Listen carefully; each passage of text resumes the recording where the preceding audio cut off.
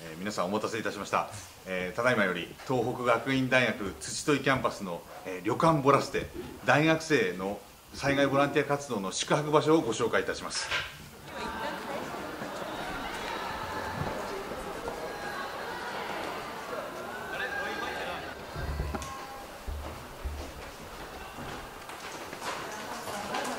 追跡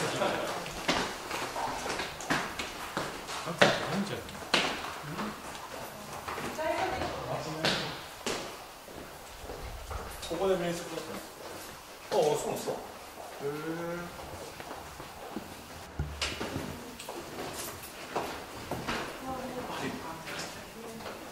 え じゃあうわ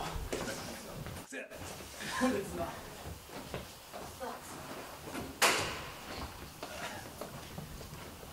大大丈夫でしょうか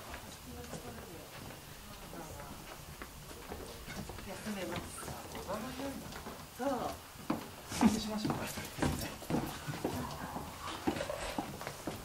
なんとなんと快適な天野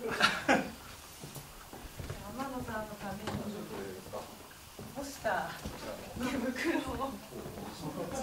これいいですか。水入ってるんですけど、あのあれですよね。明日。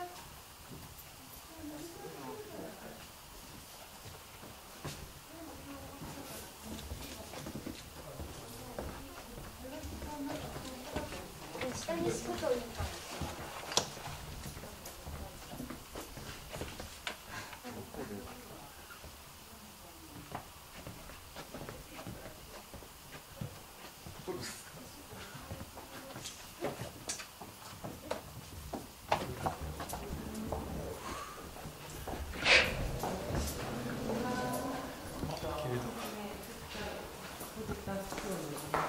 い。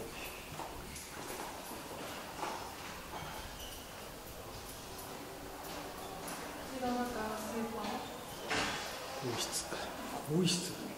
ここにシャワーがある時、なんか私中を見てないんですけど、二人は。見てみますか。そしてマッパの男がいる